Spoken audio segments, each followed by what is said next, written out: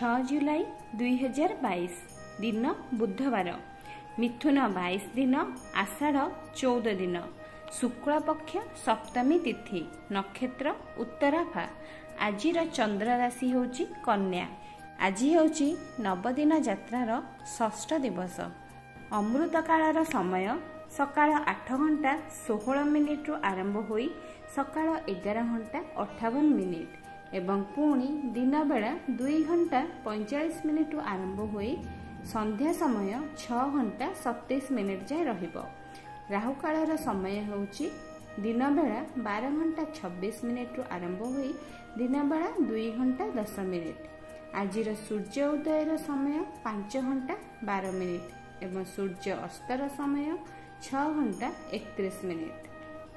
ନକାରାତ୍ମକ ଉର୍ଜା ଓ ଅସଫଳତାକୁ ଦୂର କରିବା ପାଇଁ ଫିଟିକିରିର ଉପାୟ କରିବେ। ତା ଆଗରୁ ଜାଣିନେବା ଆଜିର ରାଶିଫଳ ମେଷ ରାଶିରୁ ମୀନ ରାଶି ପର୍ଯ୍ୟନ୍ତ।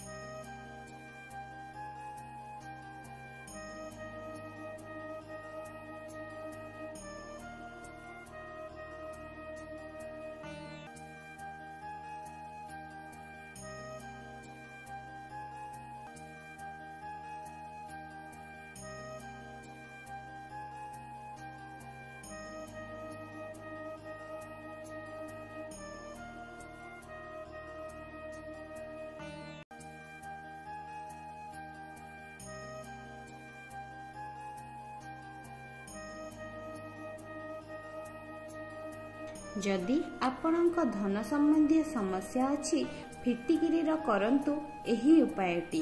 ପ୍ରତ୍ୟେକ ଦିନ ଶୋଇବା ପୂର୍ବରୁ ଫିଟିକିରିରେ ଦାନ୍ତ ସଫା କରନ୍ତୁ ଏବଂ ସ୍ନାନ କରିବା ସମୟରେ ପାଣିରେ ଟିକେ ଫିଟିକିରି ମିଶାଇ ସେହି ପାଣିରେ ସ୍ନାନ କରନ୍ତୁ ଏବଂ ଫିଟିକିରି ପାଣିରେ ମଧ୍ୟ ଆପଣ ଘର ପୋଛି ପାରିବେ। ତଦ୍ୱାରା ଘରେ ଥିବା ନକାରାତ୍ମକ ଉର୍ଜାର ପ୍ରଭାବର କ୍ଷୟ ଘଟିବ।